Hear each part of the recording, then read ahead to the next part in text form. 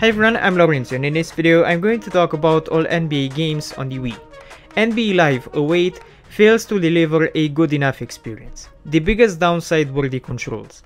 They felt unresponsive.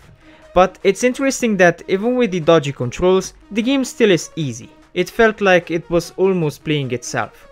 In controls you have two types of layouts. You have the casual friendly one, in which playing is reduced to just pressing a few buttons, and there is the advanced button layout, or the normal way you will play a sports title.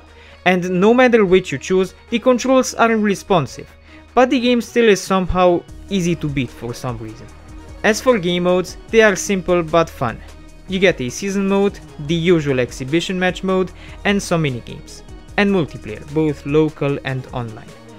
It's a little bare bone compared to other sports titles, but it works out for those who seek a super casual experience.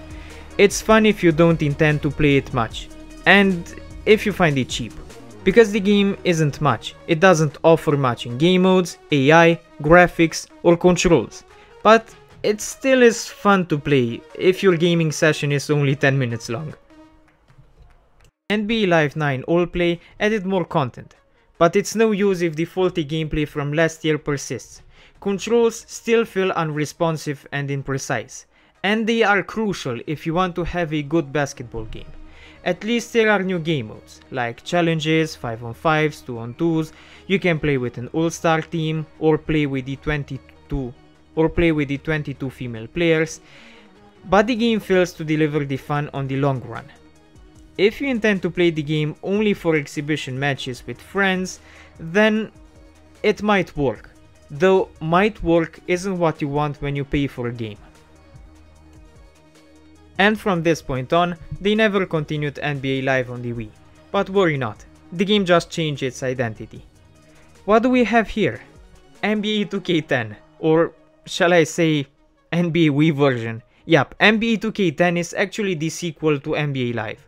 It's the same horrendous game, with bad controls, they added more content like NBA Now and the My Player mode, but since the controls are so bad, and the graphics so ugly, and the game has bugs and slowdowns, just adding more content doesn't make the game necessarily more enjoyable. Sure, it's better than NBA Live 08, but compared to other NBA Live versions, it sucks. At least this time in game modes, the game doesn't compromise. You get what you get in other versions. In game modes. Not in gameplay. This time the game doesn't feel like a compromise anymore. It finally takes shape as a full NBA game. As game modes you get quick play, season, playoff, and the association, where you take control of a franchise through several seasons, taking care of the organizational and tactical aspect, as well as winning the games once on the court. There is also a practice mode too, which is really useful for getting the controls. Also in 2K11 on Wii, you get the blacktop mode, where you leave the arenas and play dunk competitions, 3 point shootouts, 1 vs 1, 2 vs 2s, and up to 5 vs 5s. Also returning in the game is the My Player mode, making it the most complete NBA game. It's really solid, and it's the most fun you can get on the Wii.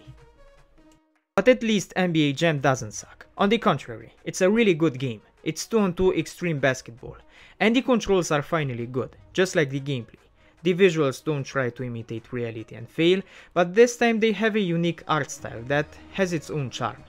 And the game offers 6 game modes. Smash, Elimination, Domination, 21, Remix, 2 vs 2 and Boss Battle. In Smash the goal is to whittle away the health bar of your opponent's blackboard with each successful basket to shatter it.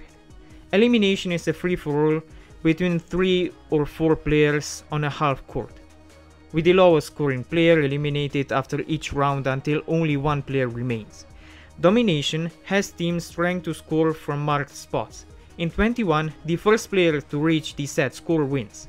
Remix 2 vs 2 is like a standard game but with periodical power-ups.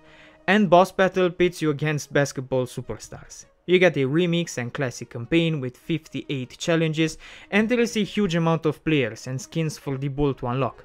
The fast-paced gameplay is doubled by a great commentator and a really good soundtrack. This game is a must-have. NBA 2K11 brought new visual enhancements. Now matches look like a broadcast and players have more animations. But in gameplay we don't see any differences. The controls are still horrendous. It's okay that the game has the same game modes like in 2K10, and the visual improvements are nice, but having the same bad controls keeps the game from being great. The controls are really bad in my opinion. NBA 2K12 is 2K11 reskinned. You get some updated rosters, but the difference is mostly aesthetic. The only difference in game modes between 2K11 and 2K12 is that 2K12 doesn't have online, whereas 2K11 has. So the novelty is actually that they removed something. And NBA 2K13, you guessed it, is NBA 2K12 reskinned, which was already NBA 2K11 reskinned. It's the usual in sports video games.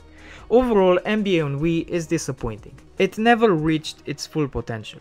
For the most part, NBA on Wii is a mess with poor controls, glitches, bugs, and ugly visuals.